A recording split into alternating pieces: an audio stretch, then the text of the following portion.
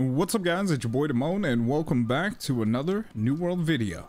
Today guys, I wanted to uh, clear up some confusion because I feel like may maybe this is partially my fault, you know, with my clickbait thumbnails and stuff. Um, but it seems that there's a lot of people in the community that are looking at fresh start servers as they as, like they're full server wipes.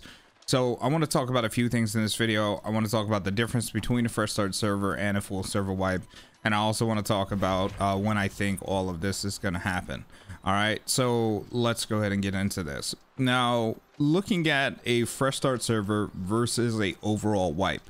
An overall wipe is where they wipe everything, right? Everybody starts from scratch, right? Uh, there is no remnant of anything that you've ever done in the game. It's basically like a brand new game.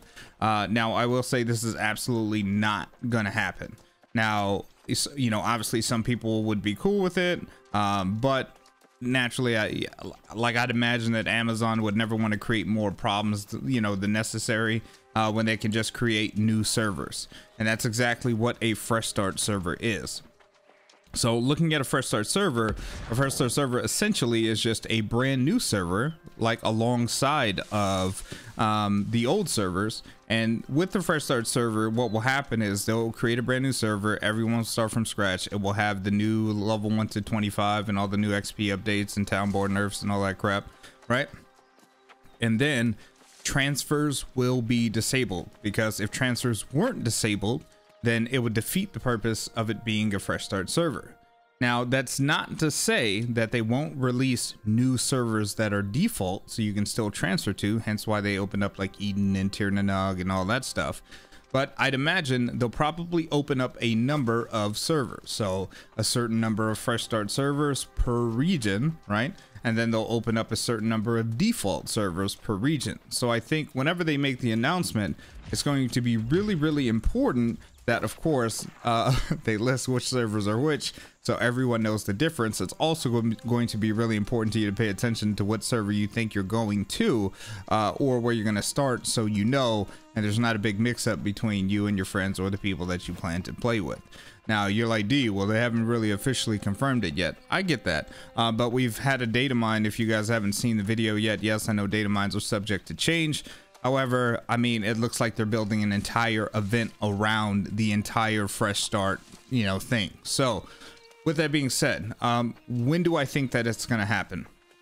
Well, as you guys know, September 28th, uh, or for those of you guys who don't know, September 28th is the one year anniversary. Um, now, shouts out to the stream. Um, they were talking to me and they were like, well, what if, what if they did it this time, right? You know, around the one year anniversary, just because like, you know, guaranteed they're probably going to do an event for the one year anniversary. So, you know, it got me to think, well, I was like, well, hell yeah, that makes a lot of sense, right? Because if we break it down, let's say they do a one year anniversary event. Let's say they call it Return to Aeternum. Okay. And let's say they start the event on like the 27th or the 26th or whatever. And then it starts, they, they launch the first start servers with the, uh, you know, the one, the new 1 to 25 experience and the game overhaul, so on and so forth. And then everybody gets to come back, streamers or whatever gets to promote the event. Obviously, there's going to be a ton of videos. The hype is going to be real. And it's also going to give players the time to basically uh, level up their characters to 60. Now, during this time, they'll probably do cosmetics. It'll probably be kind of like a little mini marketing campaign. They're most likely, most likely, I'm uh, assuming there will be like Twitch drops and things of that nature. And then as things continue to move forward, then I think what they'll do is exactly what they did in the public test realm. In the public test realm, what we had available in the beginning was just the 1 to 25 experience and basically the overall revamp with like the crafting changes and stuff like that. Then after I think it was a week or two of the uh, 1 to 25 experience, then they released Brimstone Sands plus the Halloween event. So just imagine with me for a second that they started doing the fresh start service September 28th. Okay, now after two weeks, we're looking at getting into the second week of October, which would be optimal prime real estate for them to start the Halloween event. Okay, which we know the Halloween event starts on the 18th due to the data mine, unless obviously they change it by a few days. And let's just assume that the Halloween event and Brimstone Sands potentially launches at the same time. That would give Fresh Start servers ample time to get caught up so everybody's experiencing Brimstone Sands at the exact same time.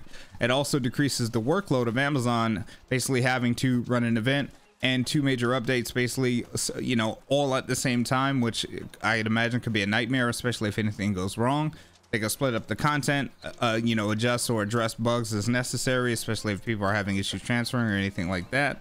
And then i think it'll be smooth sailing. What that then does is puts us in, puts us in position for the halloween event which we close out november 1st or 11th or somewhere around there. Um, i can't remember the data mine specifically. And then which then uh, you know, we'll be into the next PTR system, which I'm assuming they'll probably be testing the loadouts that we also saw in the data mine and potentially even leaderboards, whatever the hell that means. Okay.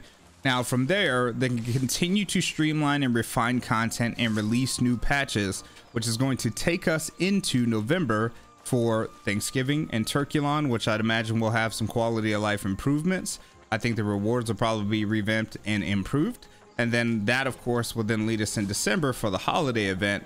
And i wouldn't be surprised to see some kind of feature that we didn't expect outside of loadouts and stuff of that nature.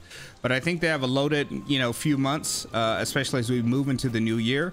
And I'd imagine they're probably trying to be aggressive uh, with these updates just due to the fact that 2023 is such a ridiculous year for game releases, but that gives them a window uh, basically up to March to really just knock it out of the park with New World. So um, I really just wanted to take a little bit of time and kind of break down like my whole thought process, my predictions, uh, things that I'm thinking are going to happen exactly with, you know, the update flow and, uh, you know, see what you guys think. If you guys have any thoughts on the matter, let me know in the comment box below.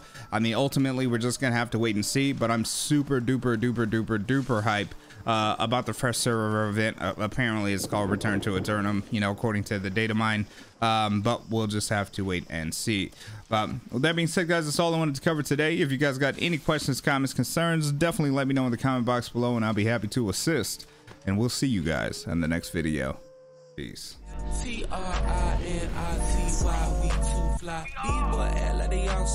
I be like they know and they all run. Well to the face.